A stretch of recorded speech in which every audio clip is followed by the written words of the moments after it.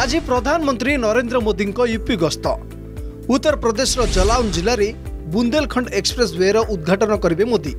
ସାରା ଦେଶରେ ଯୋଗାଯୋଗ ବୃଦ୍ଧି ପାଇଁ କେନ୍ଦ୍ର ସରକାର ସର୍ବଦା ପ୍ରତିବଦ୍ଧ। ଯାହାର ମୁଖ୍ୟ ବୈଶିଷ୍ଟ୍ୟ ହେଉଛି ସଡ଼କ ଭିତ୍ତିଭୂମିରେ ଉନ୍ନତି ଆଣିବା। ଏହି କ୍ରମରେ ଅଣତିରିଶ ଫେବୃଆରୀ ଦୁଇହଜାର କୋଡ଼ିଏରେ ପ୍ରଧାନମନ୍ତ୍ରୀଙ୍କ ଦ୍ୱାରା ବୁନ୍ଦେଲଖଣ୍ଡ ଏକ୍ସପ୍ରେସ୍ ୱେ ନିର୍ମାଣ ପାଇଁ ଭିତ୍ତିପ୍ରସ୍ତର ସ୍ଥାପନ କରାଯାଇଥିଲା। ଯାହାର ନିର୍ମାଣ ଅଠେଇଶ ମାସ ମଧ୍ୟରେ ଶେଷ ହୋଇଥିବା ବେଳେ ଆଜି ପ୍ରଧାନମନ୍ତ୍ରୀ ଏହାକୁ ଉଦ୍ଘାଟନ କରିବେ।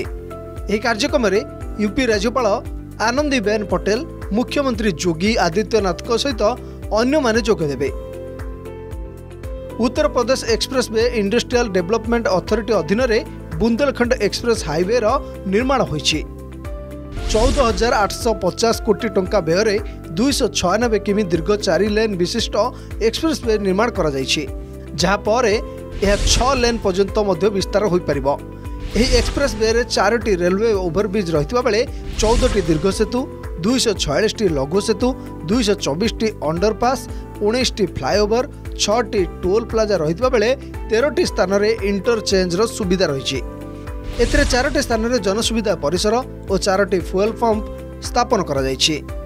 ସେହିପରି ଏହି ଏକ୍ସପ୍ରେସ୍ ୱେରେ ପୋଲିସ ପାଟ୍ରୋଲିଂର ବ୍ୟବସ୍ଥା କରାଯାଇଥିବା ବେଳେ ସ୍ୱତନ୍ତ୍ର ଆମ୍ବୁଲାନ୍ସର ବ୍ୟବସ୍ଥା ମଧ୍ୟ ରହିଛି।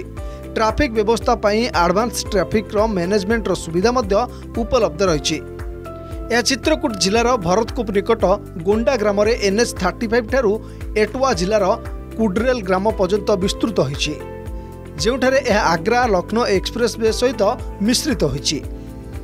ଏହା ସାତଟି ଜିଲ୍ଲା ଦେଇଯାଇଛି ଯଥା ଚିତ୍ରକୂଟ ବଣ୍ଡା ମହୋବା ହମିରପୁର ଜଲାଉନ ଆରାୟା ଏବଂ ଏଟାୱା ଏହି ଅଞ୍ଚଳରେ ଯୋଗାଯୋଗକୁ ସୁଦୃଢ଼ କରିବା ସହିତ ବୁନ୍ଦଲଖଣ୍ଡ ଏକ୍ସପ୍ରେସ୍ ୱେ ମଧ୍ୟ ଅର୍ଥନୈତିକ ବିକାଶର ଏକ ବଡ଼ ଉତ୍ସ ଦେବ ଯାହାଦ୍ୱାରା ସ୍ଥାନୀୟ ଲୋକଙ୍କ ପାଇଁ ହଜାର ହଜାର ନିଯୁକ୍ତି ସୃଷ୍ଟି ହେବ।